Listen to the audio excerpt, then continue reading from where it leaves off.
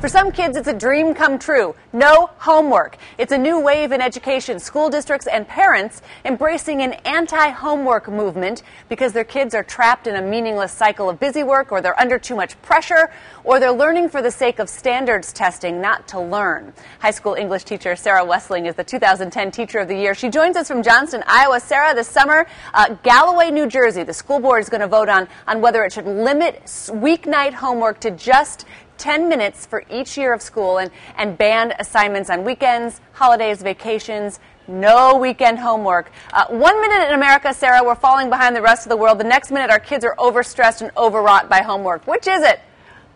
Well, it's a little bit of both, I think. Um, but, you know, I think the real crux of this conversation is what are we asking students to do when they're not in school? Um, so often, what we're asking students to do outside of school are tasks that are isolated from teachers.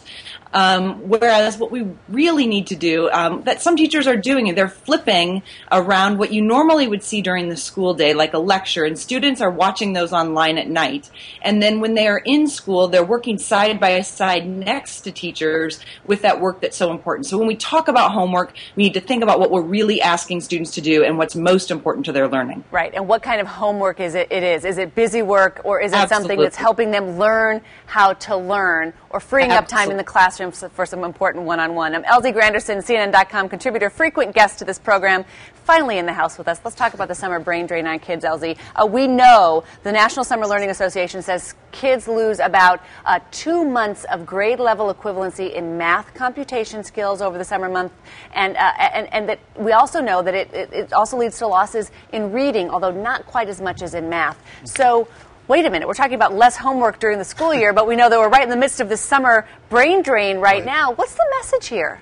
I think the message is that the education process hasn't figured out what's best for our kids, and that it is throwing a bunch of things up against the wall until something actually sticks.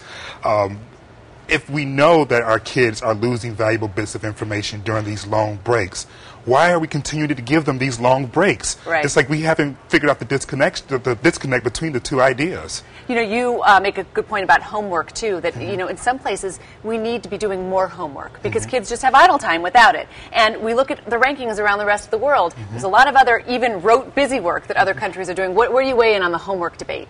I'm about homework, homework, and homework.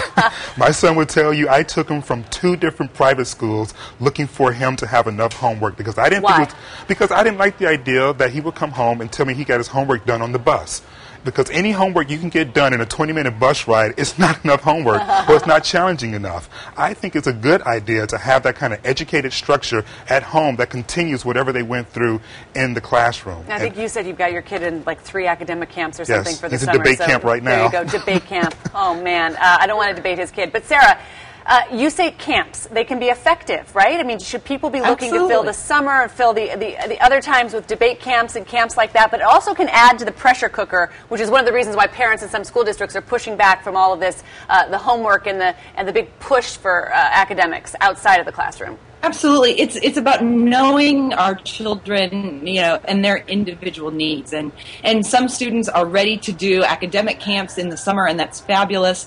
Um, and there are other students who need to be able to wander in their backyard and be able to use the resources at their local public libraries and those kinds of summer programs as well. And we have to remember that we want to continue to foster habits of mind, and that's what's so important over the summer is that our our kids do not lose the motivation motivation to read, to write, to think, um, to to yeah. wonder, to inquire.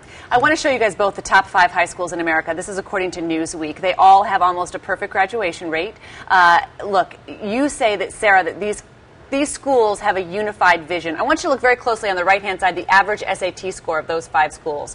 That's pretty amazing. The average SAT score in America is something like 1509. Uh, Sarah, what do you mean a unified vision? Well, one of the things that I've learned this last year in traveling around the country and even internationally is that schools and classrooms and states and even countries that are successful in education are places that have a very unified vision. And when I look at these schools in this top 100 list, I see schools that have committed to doing one thing very well, and in that, they do everything really well. And that's just the opposite of what so many public schools feel. So many public schools feel the requirement environment to do so many different things well that consequently they don't know where to put their focus.